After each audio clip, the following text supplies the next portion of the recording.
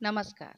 साथियों, प्रस्तुत है विद्यालय प्रबंध समिति बैठक मार्च माह का अवलेखीकरण।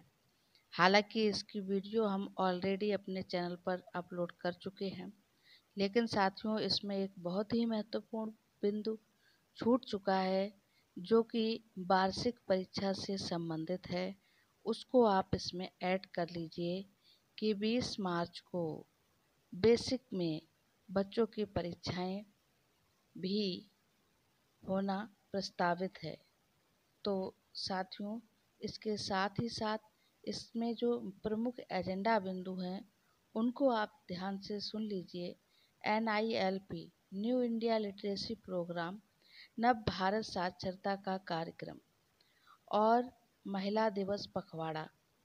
डीबीटी पेंडेंसी को खत्म करने में एसएमसी सदस्यों का सहयोग। निपुण भारत मिशन के लक्ष्यों को हासिल कराने में एसएमसी सदस्यों का सहयोग। शिक्षक व विद्यार्थियों के मध्य आत्मीय संबंध विकसित करने में एसएमसी सदस्यों की महती भूमिका। समस्त सम्मानित सदस्यगण विद्यालय प्रबंध समिति को आज दिनांक 28 फरवरी 2023 को सूचित किया जाता है कि कल दिनांक एक मार्च 2023 दिन बुधवार को प्राथमिक विद्यालय खरगातीपुर में दोपहर तीन बजे से साढ़े तीन बजे तक मासिक विद्यालय प्रबंध समिति बैठक का आयोजन किया जाएगा। अतः बैठक में आप सभी लोग प्रतिभाग करने का कष्ट करें या आने का कष्ट करें। साथियों, इस अभिलेखीकरण की पीडीएफ आपको वीडियो के डिस्क्रिप्शन बॉक्स से मिल जाएगी और इसके जो बैठक के कार्यव्रत बिंदु हैं, वो इस प्रकार हैं। सर्वप्रथम इंचार्ज प्रधानाध्यापिका महोदया ने बैठक में आए हुए सभी प्रतिभागियों का आभार व्यक्त करते हुए स्वागत किया। बैठक के प्रमुख एजेंडा बिंदुओं पर विस्तृत चर्चा, निम्न प्रकार हुई।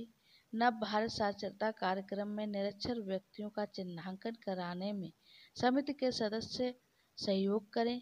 ऐसी अपील इंचार्ज प्रधानाध्यापिका एफ़ महोदया ने की। मिशन शक्ति फ़ेज़ फोर के अंतर्गत चलाए जाने वाले नारी सशक्तिकरण अभियान की संपूर्ण जानकारी दी गई। महिलाओं, बालिकाओं और सभी सदस्यों को जैसे शिक्षा का अधिकार, पॉक्सो, बाल विवाह, दहेज प्रथा, घरेलू हिंसा आदि के बारे में महिला दिवस पखवाड़ा के द्वारा शिक्षक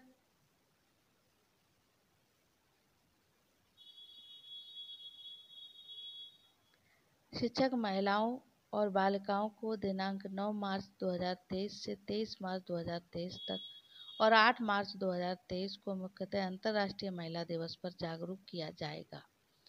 तीसरा एजेंडा बिंदु है, सदस्यों को अवगत कराया गया कि शिक्षक व विद्यार्थियों के मध्य आत्मीय संबंध विकसित करने हेतु विद्यालय में बहुत सी गतिविधियाँ कराई जाएँगी, अतः इसका और मिशन निपुण भारत मिशन 2026-27 के लक्ष्यों का प्रचार व प्रसार विद्यालय प्रबंध समिति के सदस्यों द्वारा किया जाना उनकी ज़िम्मेदारी बनती है। यह समिति के सदस्यों को कराना उनकी ज़िम्मेदारी है।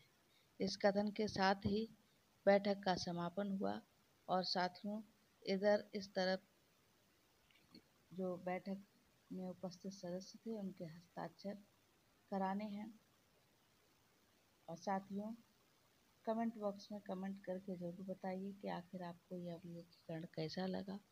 और यदि आप हमारे चैनल के लिए नए हैं तो प्लीज़ चैनल को सब्सक्राइब करना ना भूलें। धन्यवाद।